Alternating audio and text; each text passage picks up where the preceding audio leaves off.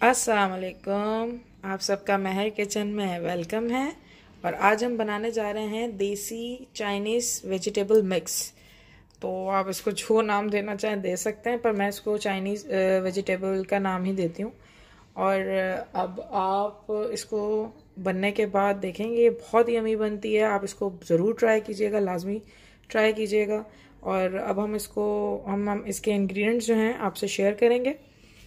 ये हमने ginger garlic paste ले लिया है टू टेबल स्पून ये टू टेबल स्पून जो है हमने ज़ीरा ले लिया क्योंकि मैं ज़ीरा ज़्यादा यूज़ करती हूँ। आप अपनी क्वांटिटी के हिसाब से यूज़ कर सकते हैं। ये हमने गरम मसाला ड्राई जो मेथी होती है वो ले ली है और ये चाइनीज़ सॉल्ट और जो हमारा नॉर्मल सॉल्ट होता है उसको मिक्स कर लिया है हमने। ये तकरीबन डेढ़ टेबल स्पून है। और लाल मिर्च, हल्दी, कुटी हुई लाल मिर्च, पिसा हुआ धनिया और ये हमेशा की तरह जो हम मैं अपनी हर रेसिपी में यूज़ करती हूँ हॉट पेपरिका ये ब्लैक पेपर रखी हुई है fried onion chicken cube green chillies और वो हम जो साबुत लाल मिर्च है, ये दोनों हम अभी ऑयल में डालेंगे.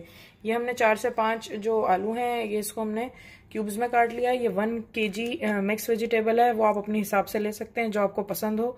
वैसे इसके अंदर जो है कैप्सिकम है बंद गोभी है फूल गोभी है, गाजर है ग्रीन अनियन है, मटर है, ये सारी चीज़ें इसके अंदर हैं। और इसके अलावा आपको जो ऐड करना हो, आप अपने हिसाब से इसको ऐड कर सकते हैं। अब हम इसको बनाने जा रहे हैं और साथ साथ आप देखते जाएँ। अब हम इसमें डालने जा रहे हैं ग्रीन चिलीज और फ्राइड अनियन जो है, हम बाद में डालेंगे। ऑयल हमारा गर्म हो चुका है।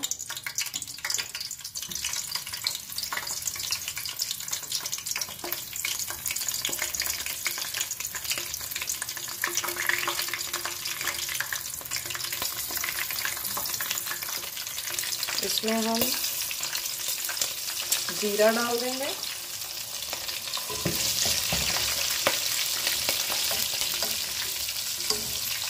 और इसी के साथ ही हम पोटैटोज डाल देंगे।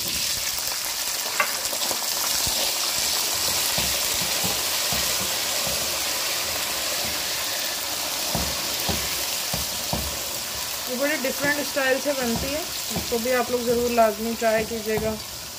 बहुत यमी बनती है। और इन हमारी नेक्स्ट रेसिपी जो होगी, सरसों का साग होगा, गाजर का हलवा होगा इन वो भी आप लोग ज़रूर ट्राई कीजिएगा। और इसमें जो है हम पहले आलू को जो है अच्छे तरीके से फ्राई कर लेंगे और फ्राई करने के बाद फिर हम बाकी के इंग्रेडिएंट्स ऐड करेंगे। ये देखें जो आलू हैं, ये फ्राई हो गए हैं थोड़े से। अब हम इसके अंदर जो है, सारे ड्राई जो है, हम मसाले डाल देंगे। इसके अंदर हमने ब्लैक पेपर भी ऐड कर दिया था। बाकी जो है, मैं डिस्क्रिप्शन में भी सब मेंशन कर दूँगी। हॉट पेपरिका और ये जो है, गरम मसाला, मेथी चाइनीज़ सॉल्ट और नॉर्मल जो सॉल्ट होता है वो और Knorr cube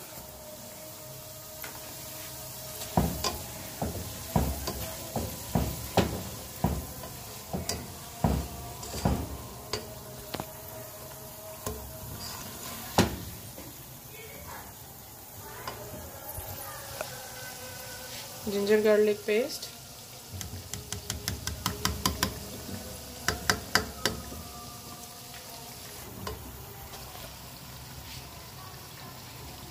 fried onion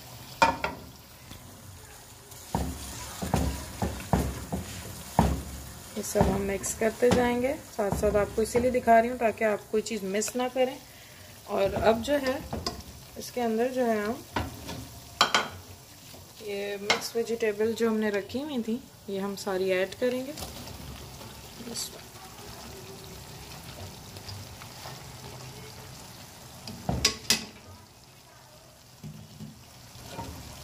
इसको हम मिक्स करेंगे। और इसको स्टीम पे हम 15 से 20 मिनट के लिए हम रख देंगे। इसमें आपने कोई टमाटर, कोई दही वगैरह यूज़ नहीं करनी है। ये अपने आप ही बहुत यमी बनती है। और इसको ज़रूर आप लोग ट्राई कीजिएगा। और मुझे फीडबैक दीजिएगा हमेशा की तरह के कैसी बनी।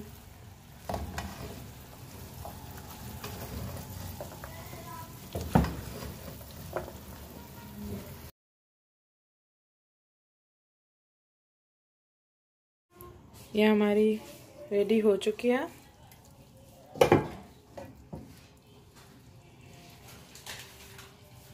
हम इसको डिश आउट करेंगे।